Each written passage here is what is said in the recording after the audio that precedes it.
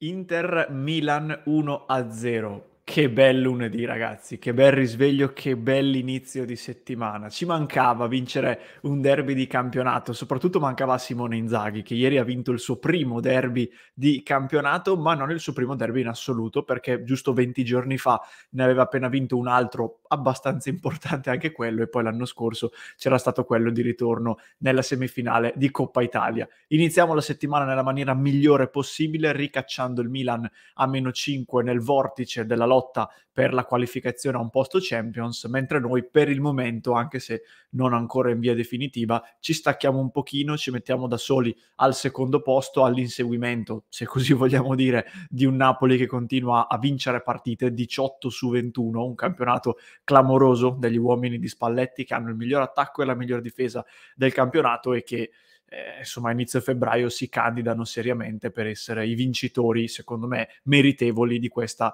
eh, stagione di Serie A. Concentriamoci però sulla nostra Inter, oggi è il day after di Inter Milan 1-0 e permettetemi ragazzi, godiamocelo, godiamocelo perché ce lo siamo meritati, abbiamo vinto giocando abbastanza bene, giocando comunque molto meglio del Milan e dominando una partita in cui andando anche a vedere i numeri, ma anche le occasioni, non c'è stata veramente storia dal primo fino al 95 minuto. Rispetto a tutti gli altri contenuti che avete già trovato e che troverete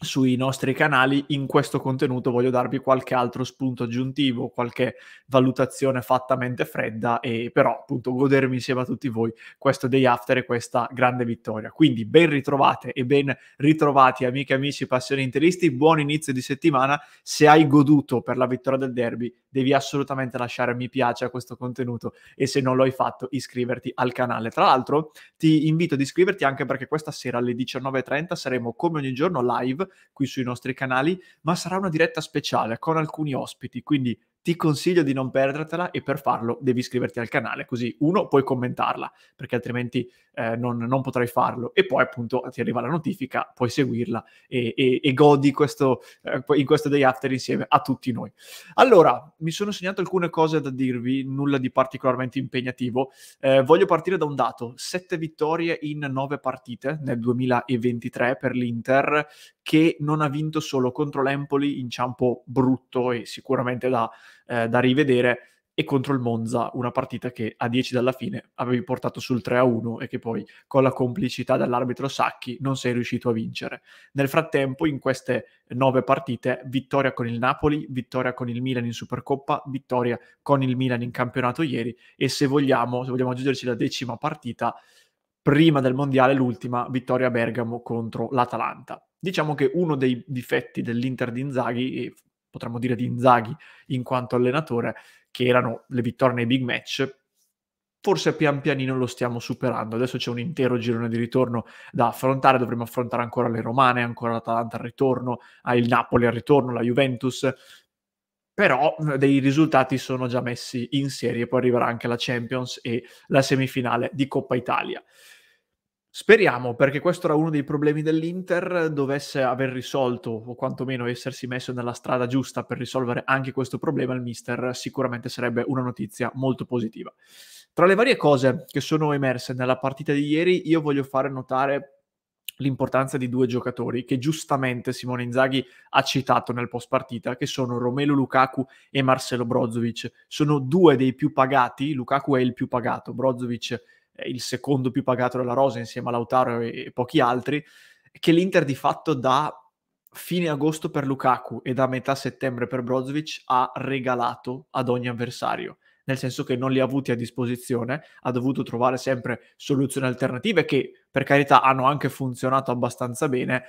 ma che comunque eh, non possono sopperire al 100% all'assenza di due pilastri come Lukaku e Brozovic. Ieri sono entrati a gare in corso, Brozovic ha fatto poco perché comunque la gara era già piuttosto indirizzata, Lukaku invece ha aiutato molto, secondo me, i suoi compagni a tenere alto il pallone,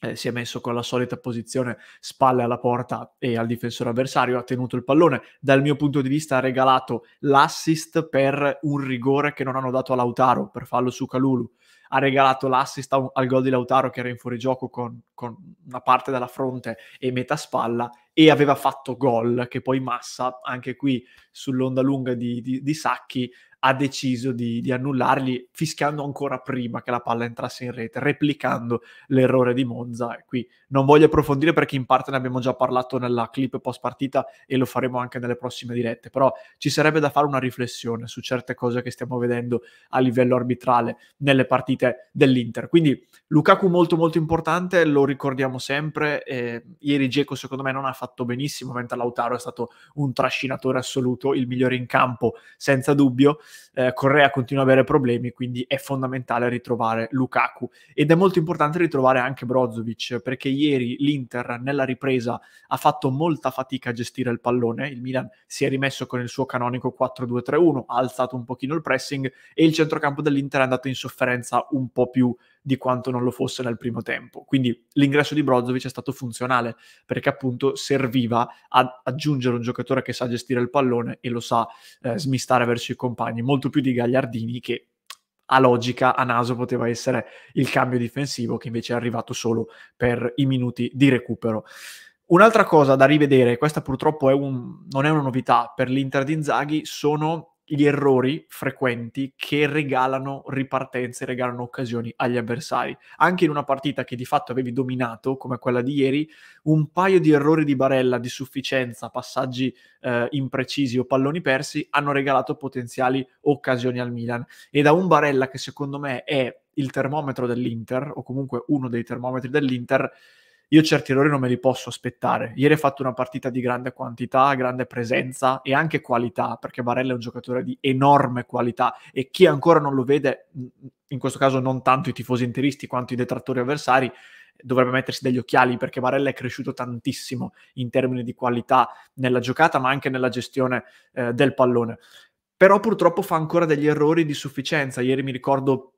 eh, una palla persa davanti alla difesa che poi ha portato ad un calcio di punizione pericoloso per il Milan, un altro pallone regalato al, al Milan che ha generato un contropiede, un contropiede dell'Inter che stava con, gestendo lui che poi ha, eh, ha, fatto un passaggio con enorme sufficienza verso sinistra e il compagno è stato anticipato. Sono piccole cose che poi se non portano al gol avversario vai a dimenticare ma che per fare arrivare da 30 a 31, ecco, eh, serve che, che, non si facciano più. E poi il macro errore per eccellenza è quello che ha portato a quell'azione in cui Giroud in area di rigore ha stoppato male e Acerbi, che secondo me è il secondo migliore in campo di ieri, ha, ha sventato. Lì Skriniar si trova sulla tre quarti offensiva, gira un po' su se stesso tenendo anche bene il pallone, lo perde perché poi viene triplicato e se tu guardi l'Inter c'è Bastoni che è un altro difensore, anche lui nella tre quarti offensiva, tutti gli attaccanti in avanti, gli esterni alti e il Milan riparte con un 4 contro 3 al 75esimo sull'1-0 per l'Inter. Non si può, non si può concedere queste cose. Dai, eh, va bene provare a giocare, provare a, fare il 2-0 ed attaccare, ma non puoi essere così sbilanciato. Era lo stesso errore fatto l'anno scorso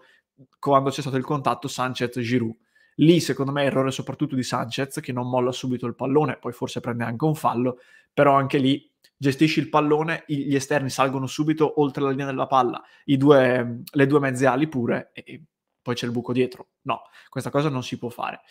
Comunque, ripeto, alla fine il risultato è andato bene, quindi analizziamo anche le cose che non hanno funzionato, ma rimanendo sempre soddisfatti del risultato, anche perché piccola parentesi aperto, aperta sul Milan, Pioli ha cambiato eh, la, l'impostazione, lo schema tattico, nel post partita ha rivelato quello che era eh, il piano gara,